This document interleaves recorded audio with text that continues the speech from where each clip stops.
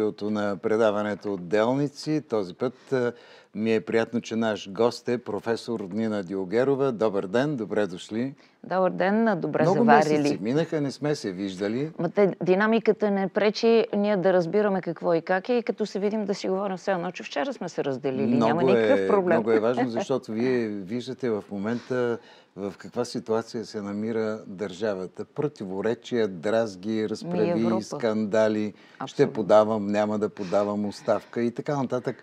Особено днес Тагарев, като каза няма да подавам оставка твърдо, защото Да. те му я поискаха и Делян Пеевски, и Бойко Борисов. Да. Той заяви няма да подавам оставка. Това на какво ви прилича? Ами това е, знаете ли, ако приложим риториката за детската градина, нати куклите, дай ми парцалите.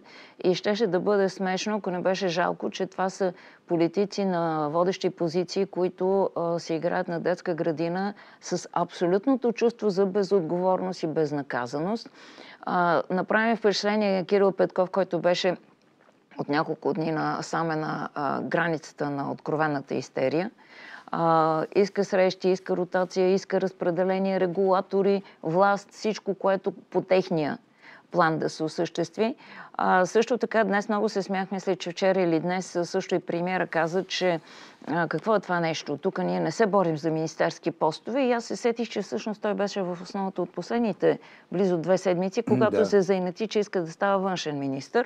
В а, цялата тази картина... Той Бойко им каза, пътуват, искат да пътуват, искат да пътуват, Да. обаче нещата в държавата трябва да, да вървят. Не, и той това каза, «Къд- каква ротация сега ще правим? Вие казва, не спряхте да пътувате, а ние трябва да ходим на 6 и 7 И в на същото конгрес. на време НП. е, Кирил Петков е, днес е, в изявление отказа да подпише коалицион, коалиционно споразумение. Ами и това е другия цирк, извинявайте, защото те от две седмици говорят за меморандум, но май не знаят етимологията на този термин. все пак нека да го кажем. Меморандума е намерение. Това е пожелателна Да. форма и предложение. Това е меморандум. А те даже не знаеха какво е това нещо. И в случая, знаете ли, пак ще повторя нещо, и че което... трябва да има споразумение, което да бъде подписано. Ма те непрекъснато ни говорят на не коалиция, с глобка. Всичко, което е далече от това, което те правят. А, формулировката е няма. Някои хора продължават да не знаят добре български язик и да Меморандума, както по едно време го каза Кирил Петков, та това стана и нарицателно на целият процес, който те се опитват да правят. А, има една фраза от преди време, за съжаление повтарям непрекъснато, защото има доказателства.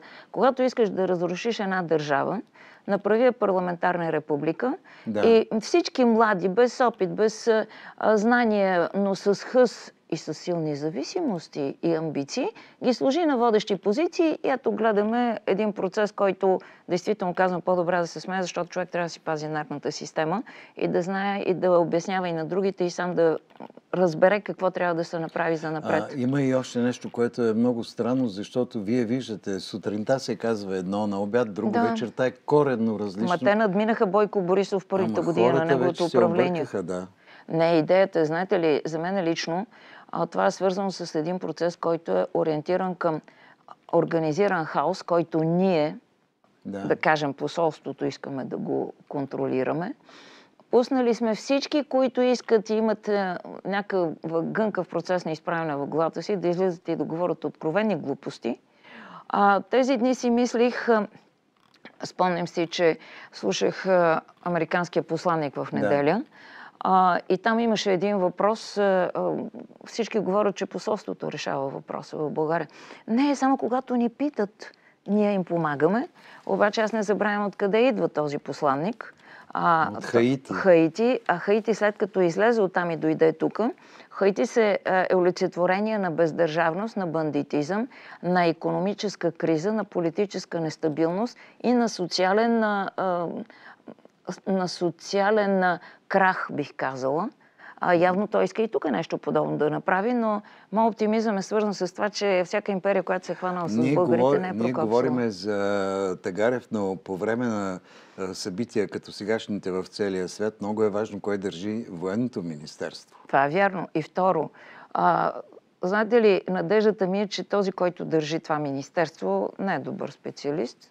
Всичките са поръчкови, послушни, изпълнителни и а, на практика, ако ви прави впечатление да отидем на една а, друга тема, между, а, която е продължение на тази, а направи ли впечатление, когато Макрон а, излезе с, с знаменитата си фраза, ми ние вероятно трябва да изпращаме европейските и натовските държави а наши военни части в Украина. Как ви се струва Същия това желание ден... на Макрон да срази Путин с такива приказки?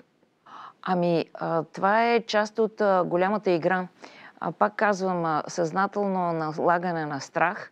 А второ, а, имаше един вариант, който се коментираше, че той го каза, за да провери каква е реакцията на Европа и на mm-hmm. света, но той малко обърка нещата, защото едни от първите, които казаха категорично няма да изпращаме войски, това бяха щатите. Белия дом веднага излезе. Да. съветника по сигурността излезе и заяви, ние такова нещо категорично няма да правим. Ключово а, беше също и негативното отношение на ключови държави като Германия, Олаф Шолс директно дигна скандал, Великобритания, там да. беше и Камерън, Чехия, Полша. А какво направихме ние? Българите, по-точно не, аз не искам да обиждам българите, тези пишма политици, наречени кабинет, да, да, управляващия елит, то и това е обидно да го използвам, защото управление означава знание и, и опит.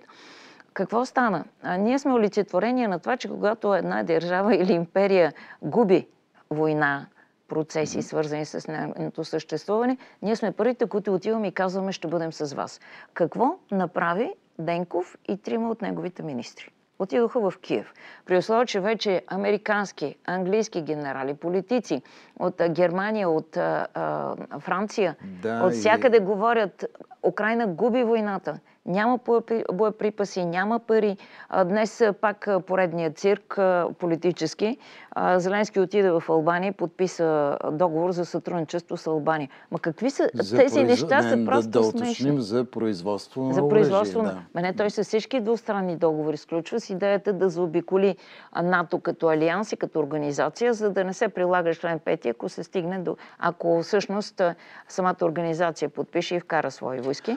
Обаче самия факт, че в момента това нещо излезе с много силна негативна позиция от водещите държави, начало с САЩ, за мен лично е свързано с една друга теза. А, преди Ама нека не забравяме нещо друго. Да. Извинявайте, че да, ви прекъсвам. В началото се говореше, че Украина трябва да има а, оръжия а, за Русия санкции, за да се приключи с тази война бързо.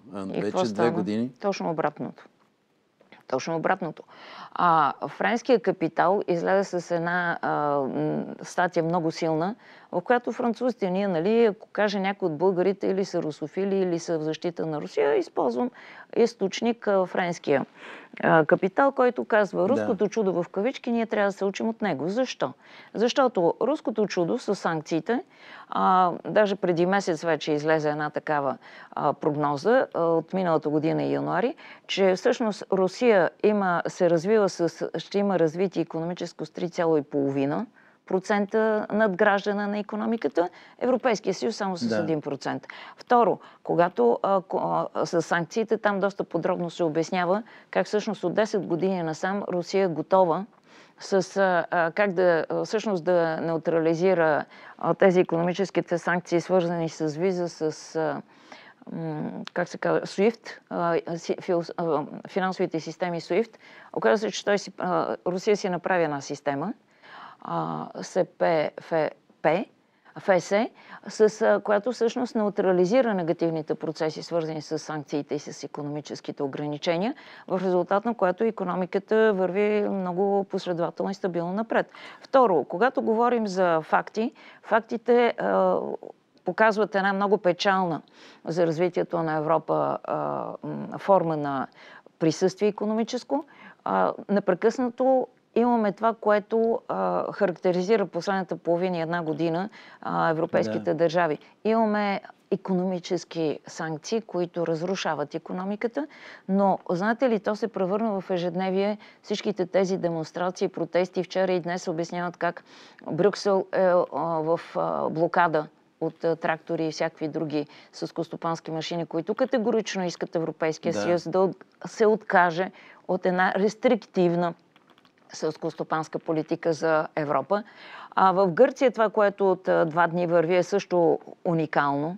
В България направиха също няколко а, вида протести от различни а, групи селскостопански. Сега ще има отново протести вече на а, миньорите от а, а, Марица Исток 3 и 2 защото три приключи договора и там вече започват негативните процеси, свързани с заплати, с работа и с Да, но вие виждате ли, че в нашата страна ние се занимаваме кой министр ще си остане на поста, а не, с, а не с проблема, че хиляди хора остават без работа. Но това, знаете ли, в момента настоящия елити на България и на Европа и на света изобщо не се интересува от проблемите на обществото. Всяка една от тези групи, обществото като цяло и тази малка групичка елити, те живеят всеки в собствения си свят. Даже когато обществата искат чрез различни форми на недоволство да поискат и задължително да получат това, което искат, защото то е економически обосновано и социално ангажиращо,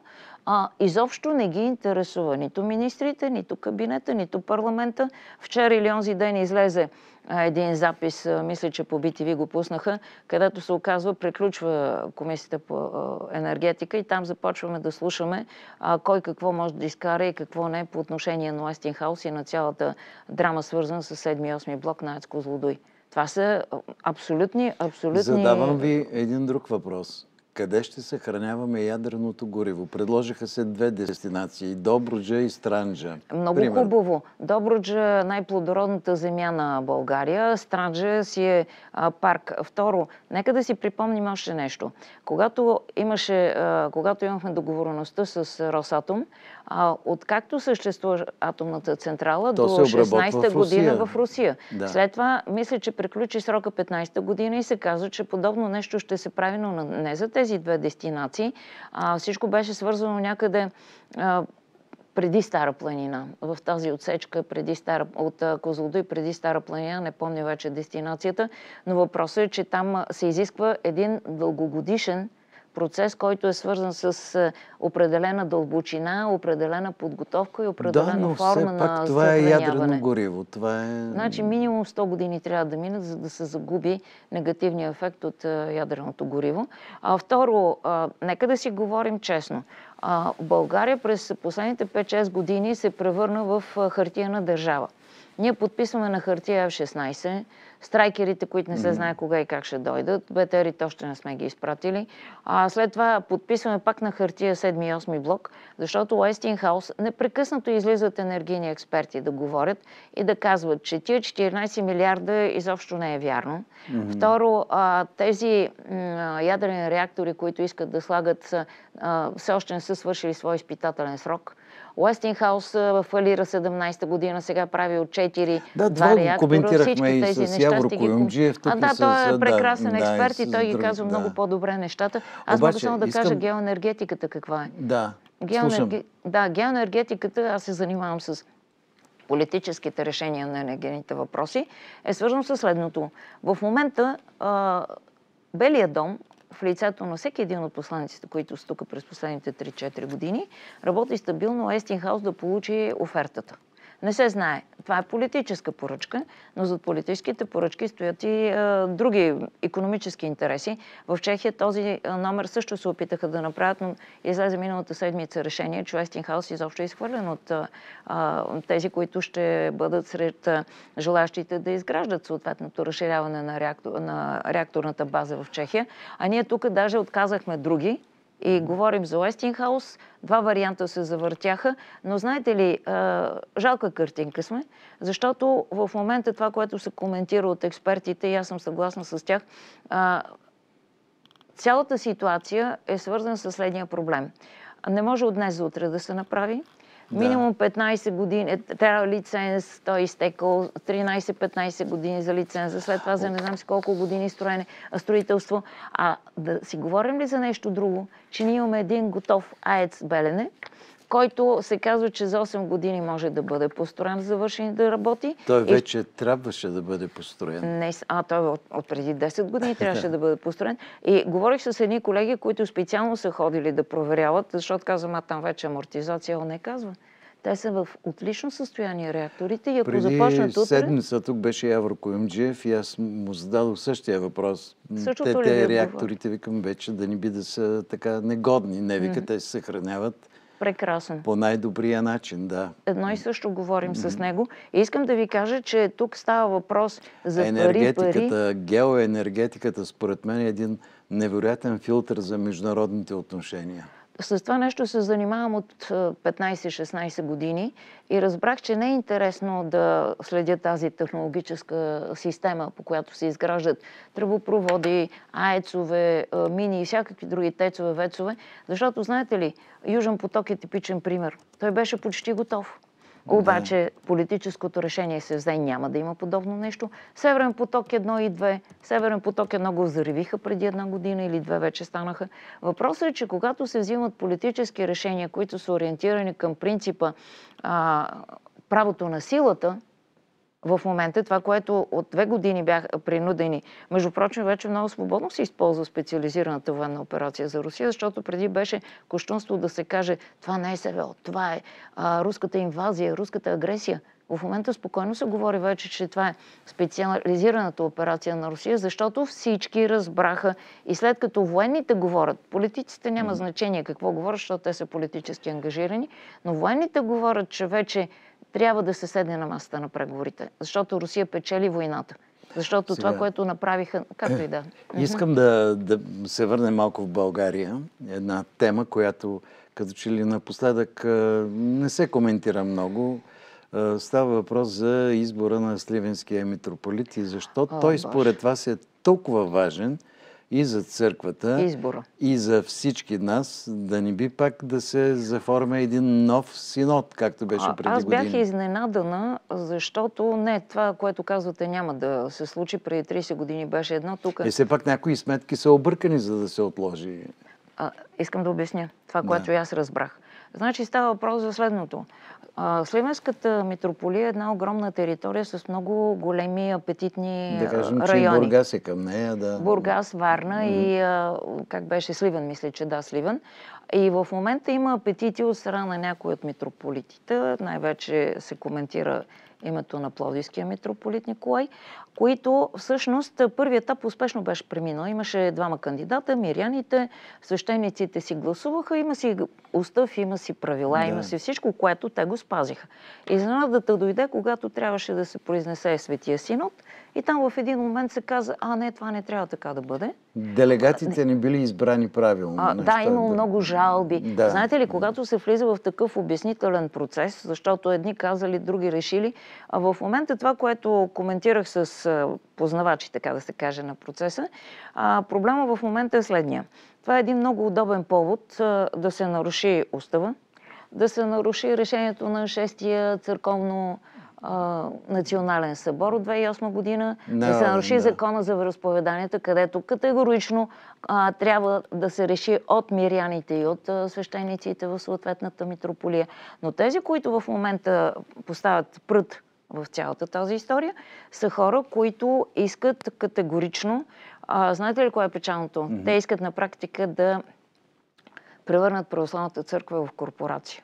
Няма, аз знам, защото сме снимали светло му памет Сливенския митрополит. Той ни е казал, че от неговия глас зависи много избирането на патриарх. Точно. И от него. Да. Сега знаете ли, има само трима.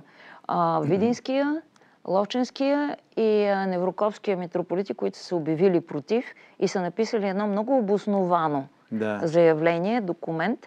А, значи ние трябва да изчакаме до 12 март. Но 12 март ще се решава този въпрос. И аз се надявам а, да наделее разума, защото а, ако и тук се отвори един разлом, а, винаги съм казвал, не само аз, просто нормалните хора говорим, че това, което се случва с Украина, а, той и Бжежински си го пишеше преди 30 години шахматната дъска, където чрез Украина ще разрушат Русия, православието, пък може и Европа. В момента битката е срещу Русия и срещу България в контекста и на православието. Православието, защото православието е идеология, която обединява.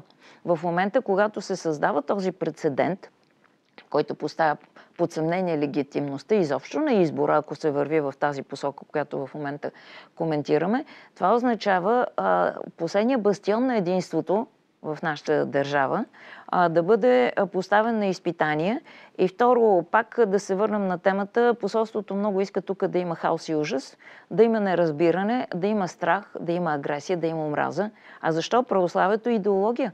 Православието а вие е помните инструмент... какво беше казал един бивш външен министр за православието? Кой от всичките? Соломон Паси. А, Сол... да, да, да, да, не искам да коментирам. Няма да му правим реклама. А той просто трябва да бъде съден за всичките тези работи, защото аз не забравям, че преди години той говореше, че е еврейн, еврейн, еврейн.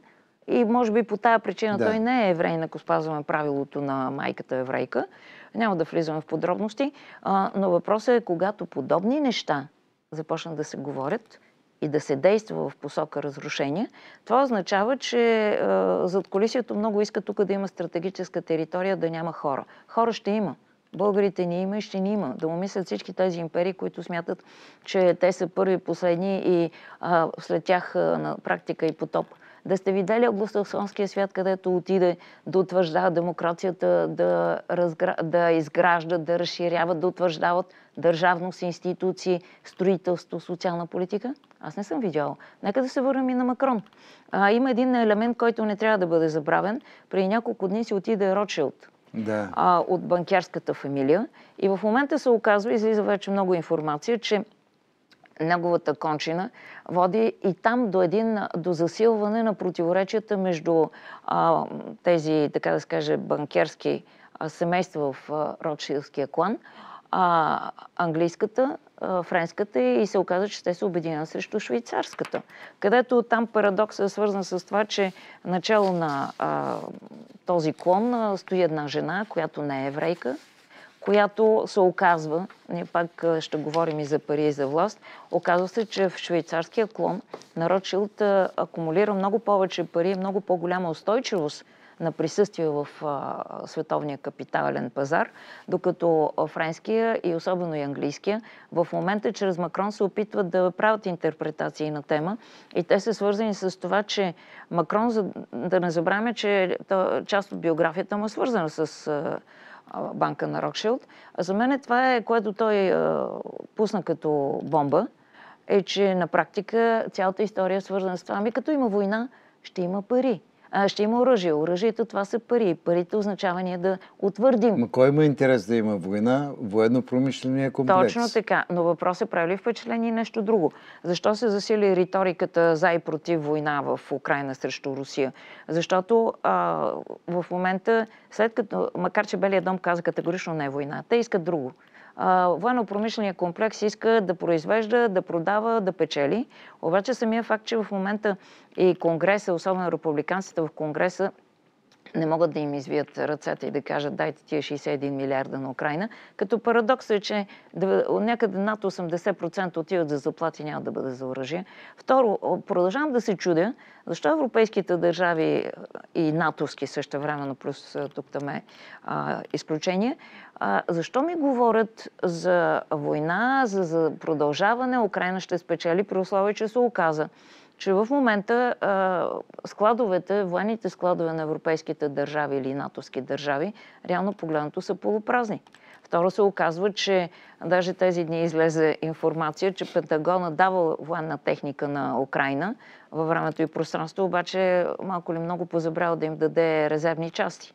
В резул... Ами, да, днес, според една новина, председателят на Камерата на представителите Майк Джонсън, Точно така. Украина не е приоритет за Съединените ами, американски щати да в момента. Най-напред трябва да се погрижат за нуждите на Америка и след това за Украина. Точно, границата с Мексико. Да. Второ, да не забравяме още нещо, което а, наближава Деня Хикс. Деня Хикс е 1 март. Защото от Барак Обама насам ние влизаме в предизборна кампания, никъде никакви конфликти. Замразявате ги, отлагате ли или ги решавате в крачка, но от 1 марта до ноември месец не, иска, не искаме войни. В резултат на което в момента цялата риторика, която върви от Макрон, минава през идеите да. и конфликтите в контекста на Ротшилд клана и всичките приказки, които се говорят Но от нашите политици... Но все пак Байден казва, че няма да изпратят техни войски в Украина. Не, да, не само. Белият дом като цяло това. Mm. Значи Байден го казва, нали знаете, че трябва да го проверим, като е, си има предвид критичното състояние здравословно на Байден. А, между впрочем, генералният директор на, на, също на НАТО каза, не, ние няма, ние няма да воюваме в, с Русия в Украина. А, всичкото е голяма, голяма риторика. Още един елемент от цялата тази схема е Китай. Китай на 5 март ще има а, годишна а, сесия Истина, на да. а, китайския парламент където всъщност се очаква да се вземат много интересни решения. Решения свързани с консолидиране и засилване на политическото и военното единоначалие в Китай. Втора а, информация излезе днес, че а, китайски представител ще опика, ще, специален представител ще отиде в Русия, в Украина, в Европейския съюз, за да се запознае с ситуацията.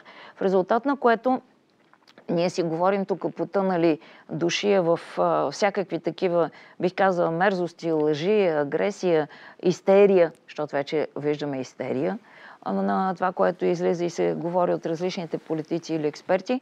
А в случая е хубаво да чуем какво ще каже Китай. Защото Китай в общи линии продължава да бъде самостоятелна единица с засилваща си економическа а, мощ. А, продължава да подкрепя Русия. Русия с всичките негативи, които се говорят по отношение на нея. Между прочим, да. един штрих. Прави ли впечатление, че Навални почти излезе от мас-медийното Погребението ще е обаче на, на 1 първи, март да, в Москва. Да. Москва. А пък другото, което а, сега излезе, а, честно казвам се смея вече с тези неща, говоря за политическото поведение и риторика. Mm. Юлия Навална искала да говори в, на първи в а, дали беше не утре, май на 29 Не, днес е била в е, Европейския парламент. Утре, утре иска специална реч, с която да призове Европейския съюз да не признава изборите в Русия, което е повече от смешно. Тя върви по стъпките на Тихановская, която също излезе а, да казва да не се признават изборите в Беларус. Днес излезе информация, че а, беларуските опозиционери отвън ще ли да свалят режима на, да правят преврат на режима на, на, на Лукашенко. Знаете ли, това за мен е откровена истерия а, абсолютно запълване на политическото пространство с много приказки. Днес, без сега намерих едно изречение, защото те са доста. Това, mm-hmm. което е казала в Европейския парламент Юлия Навалне. Mm-hmm. С Путин може да се борите като с организирана престъпна група. А да си припомня ли какво каза майката на Навални за жена му и за дъщеря му? Просто това е, знаете ли, морално ценност, нали говорим за евроатлантически ценности. Mm-hmm. Там трябва да има морално ценностна система, а, която да гарантира семейството, респекта към родителите и вярност и любов. Ами добре, аз ви благодаря, защото много напреднахме с времето. Следващия да. път ще продължим. Професор Нина Диогерова бе наш гост. След седмица ще я поканя отново, за да а, коментираме събитията. Те се променят непрекъснато. Динамиката госпожа. е голяма, но много ви благодаря за поканата. С вас винаги удоволствие да водя Благодаря диалог. ви и с вас. Благодаря. Сега е време за реклама.